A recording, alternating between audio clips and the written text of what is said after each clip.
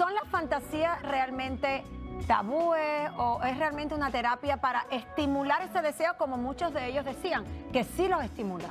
Definitivamente. Con respecto a cómo aprender a manejar fantasías y cómo hacerla, cómo hacer que ellas sean efectivas para hacerlo a uno llegar al orgasmo.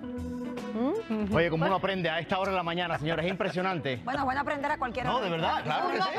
mucho, pero importante. ya yo aprendí y escuché lo que dijo el doctor Bali. Pero, ¿qué dicen aquí en el estudio nuestros compañeros? Quizás eh, las fantasías íntimas son un potente afrodisíaco. ¿Qué dicen? ¿Qué dicen? A ver, a ver,